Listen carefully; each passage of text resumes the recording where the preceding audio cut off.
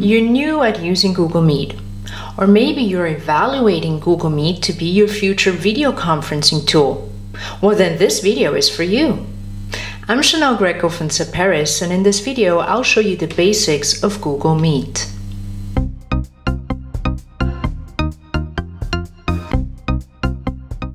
Hey, do me a favor and hit the subscribe button because twice a week we publish video tutorials about Gmail, Google Meet, Google Drive, etc.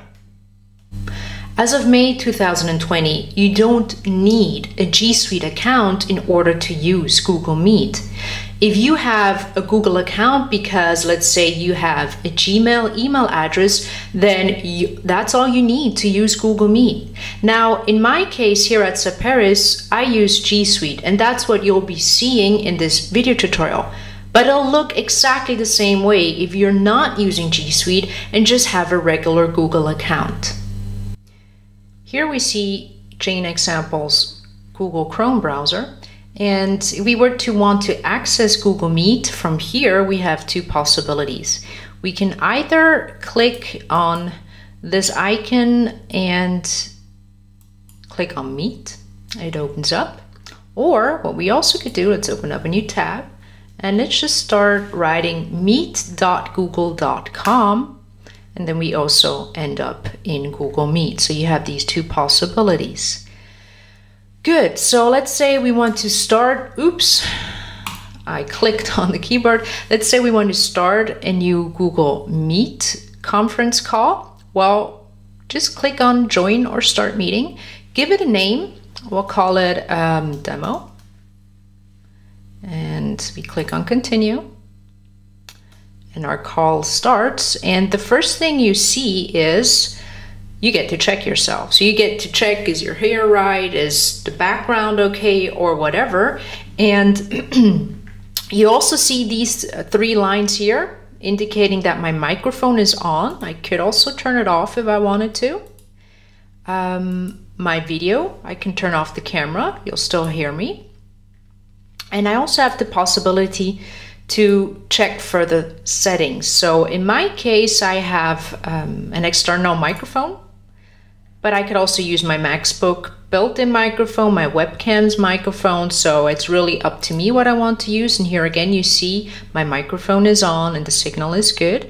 And the speakers, the same. You have multiple um, possibilities as long as you have multiple devices connected to your notebook. In that for me, that is the case. If you were to click on test, you would hear a little sound going off just to test if your speakers are on.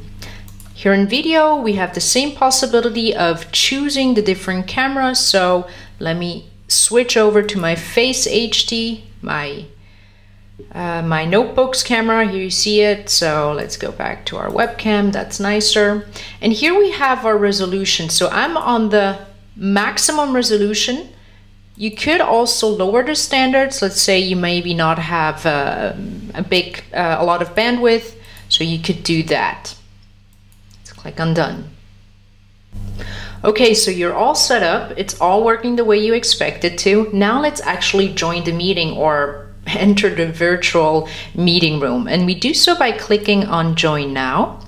And here we get some information. So if we want to invite somebody to our meeting, to our conference call, which we most likely want to do, we could send them this information. So you see here, they can also dial in with their phone.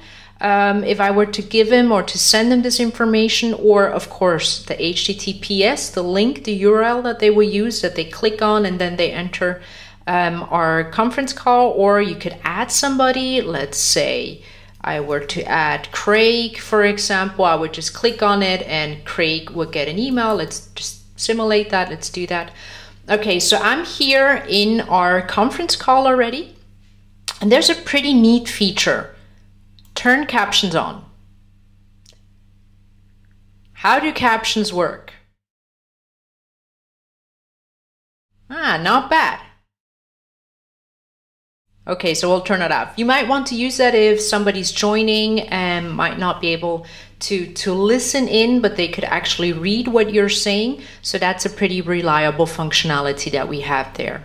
Here, of course, the basics, you turn on and off your microphone. Um, this is where if we wanted to leave the call, end the call, we could turn off our camera if we don't want people to see us. And this is very interesting. Present now. Now, very often in a conference call, you want to be presenting something to your audience. Let's say I want uh, a window. I want to present the window. I have a second window here prepared. So I am now sharing explicitly this presentation that I have in a separate window prepared. Uh, where is it? Here you go. So I'm now presenting this to the people who are in this conference call. Okay, oops, that's not what I wanted to do. Here you go. And once I'm done, all I have to do is stop presenting. What I very often use when I'm in a call with someone and we're talking maybe about a document or something online, I can send them the link. So I can send a message here. Oops, here you go. So we can actually chat and send each other information while we're in this conference call. And you'll, of course, also have the possibilities of, here you go, working on your settings. So let's say you're already in the call and you notice that something's not good or something's off with your mic or with your video. So you can change that here. Let's finish that out. Um, here are the details. So if you're already in the conference call with someone else and they say, oh, you know what? Um, Mike really needs to join this call. Well, from within this call, you can invite a person and let's say attachments, if you would have created a calendar invite and you would have joined from that calendar invite, and in that calendar invite, there would have been attachments, well, they will pop up here. You would see them. But I would say I'll, I'll make a different video for that, a separate video where I go over how you create and schedule uh, a video call in Google Meet in advance and send it out as a calendar invite. So that was, or those were the basics. Um, how do we end the call? Well, there's this big red button down here. If I click that, then that's it. My call's finished. And those were the basics. Do you have questions concerning Google Meet? Well, if so, then please leave me a comment below and I'll get back to you and um, have fun collaborating with Google Meet.